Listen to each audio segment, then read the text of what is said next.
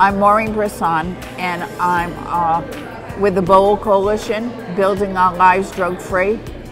And we're based in Fall River, and um, we're an agency that works with youth to help prevent uh, um, tobacco use and um, underage drinking. Our volunteers are very important to us. We, we're a, a small staff. We, um, a lot of us don't work full time. So the, the volunteers really help us with our uh, programs and um, especially if they're